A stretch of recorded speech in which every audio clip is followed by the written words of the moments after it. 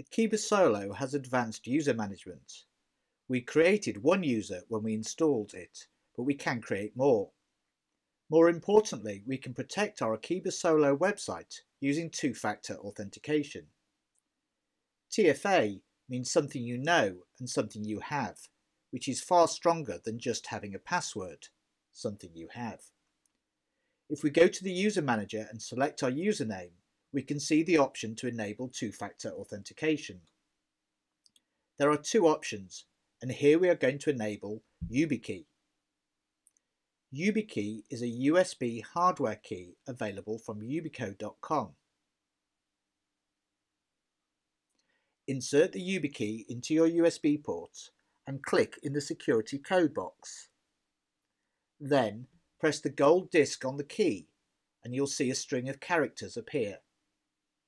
Click Save and Close.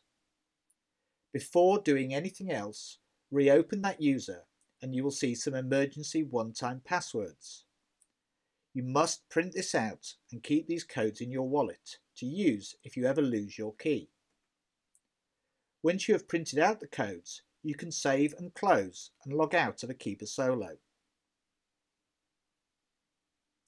Now, if you try to log in without entering the secret code, you will fail. To generate the code, insert the YubiKey in your USB port and press the gold disc.